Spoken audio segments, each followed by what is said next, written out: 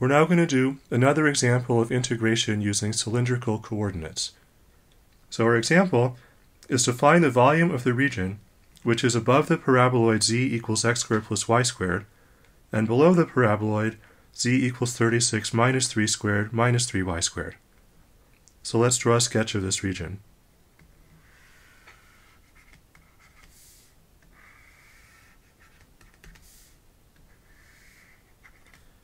So the first paraboloid is a right side up paraboloid like this, z equals x squared plus y squared. And the second paraboloid is an upside down paraboloid because the coefficients of x squared and y squared are negative, and the apex is where z equals 36, so it goes down from here, like that.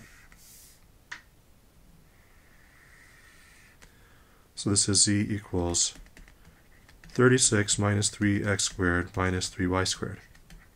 This sort of looks from the picture like these are going to intersect in a horizontal circle, which we can check later is the case. Okay, so if we let E denote the region, then the volume of E, which we want to compute,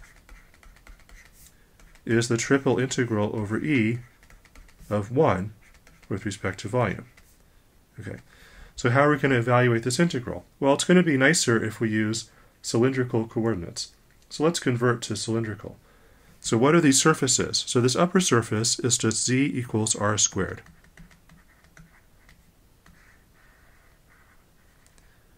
And this lower surface is where z equals 36 minus 3r squared.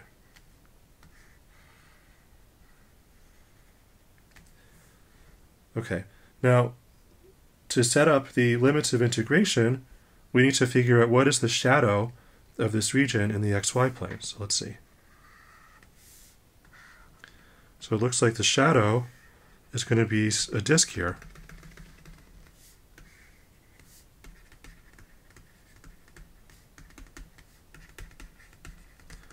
So how can we figure out what the shadow is? Well, the boundary of the shadow is the curve where these two surfaces meet. So the boundary of the shadow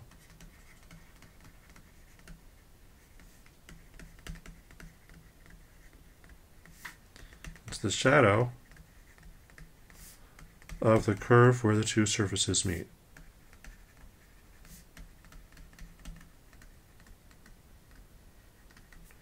And where do the surfaces meet?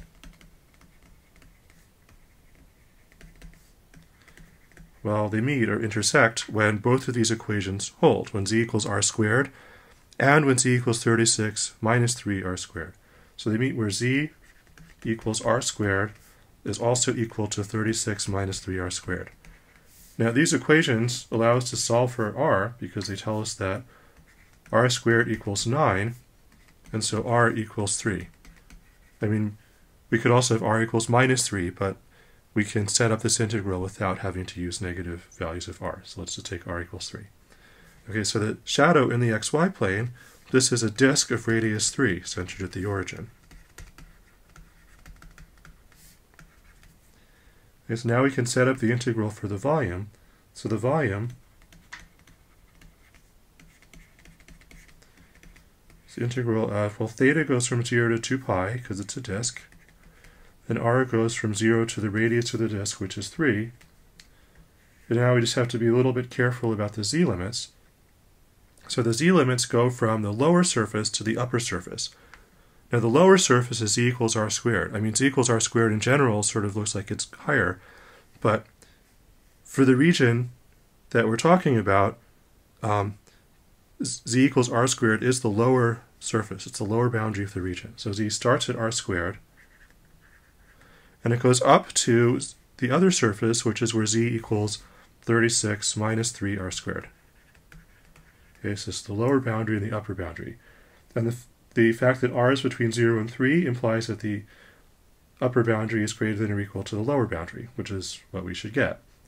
Otherwise, we're going to be looking at the wrong integral and we're going to get a negative answer for the volume. Okay, and now we put in the, well, 1, and then there's the magnification factor r times dz dr d theta.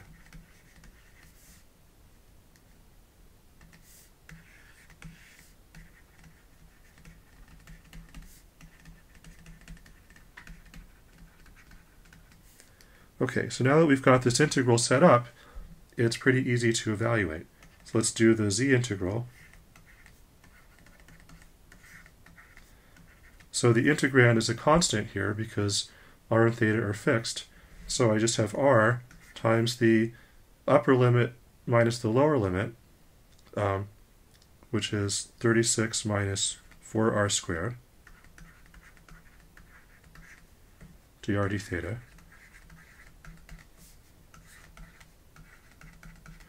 Okay, now I integrate over r, so I have a 36r, which gives me an 18r squared. And then I have a 4r cubed, and the integral of that is r to the fourth. And I evaluate at r equals 3 and r equals 0, and then integrate with respect to theta. So putting r equals 3 in here, well, I get 18 times 9, which is 162 minus 81, so I get 81.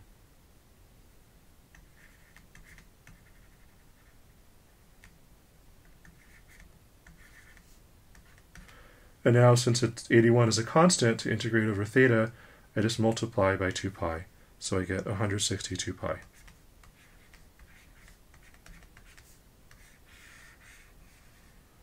So as with the other example, you could do this using Cartesian coordinates and it would work, but it would be a lot messier.